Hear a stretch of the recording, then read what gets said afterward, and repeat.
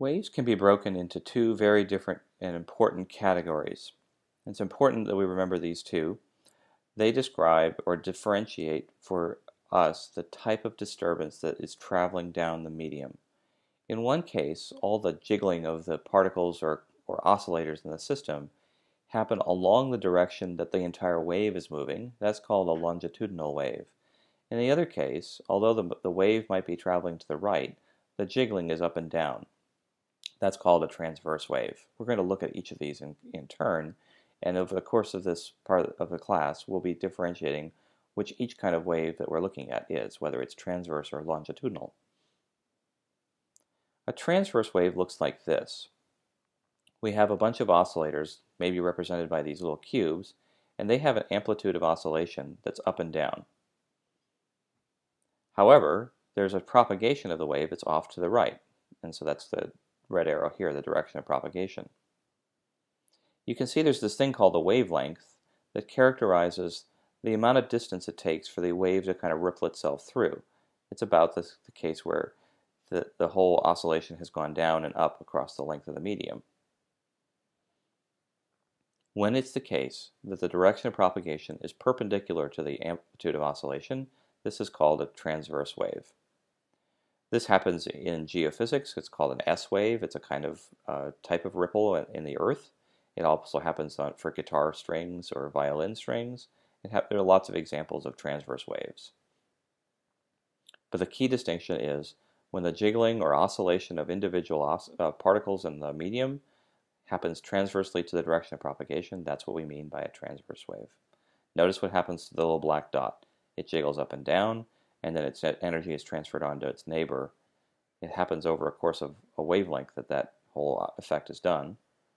But the transverse oscillation of the black uh, dot here is what tells you that you have a transverse wave. The second kind of wave is called a longitudinal wave. It's as if you had this big long connection of particles on a spring and you pushed with your hand in toward the right and all of a sudden they start jiggling toward one another and you can see what happens to the little black dot. The black dot is now moving back and forth along the direction of propagation. So although the, enti the entire disturbance is passing from left over here down to the right over here, that just marks the direction of propagation. What makes this thing a longitudinal wave is that the motion of that individual black dot is along the same direction as the direction of propagation. If we wanted then, we could say that the distance that this thing, this individual black dot moves is called the amplitude, and the distance over which the whole effect is over with, that would be about this much, is called the wavelength. In geophysics, when something like this happens as a longitudinal wave, this is called a P wave, or a pressure wave. In sound, that's another example of a longitudinal wave that just has the name of a sound wave. You can view this very nicely if you think about a slinky. Slinkies can be used to make both transverse and longitudinal waves. If I fix one end of a slinky to the wall and hold the other end with my hand and stretch out the slinky, now I can jiggle my hand back and forth, I will get a ripple that goes down the length of the slinky where I see areas of compression and areas of being stretched out and then compression and stretched out. Or I can take my hand and jiggle it up and down and I'll get what's called a transverse wave, where the wave, where the disturbance goes up and then down and then up and then down. And we can see an enactment of that right here.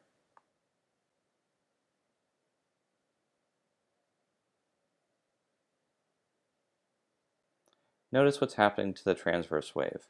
The jiggle that's going up and down goes down the length of the, of the entire spring. Notice what's happening to the longitudinal wave. It's the compression that's traveling.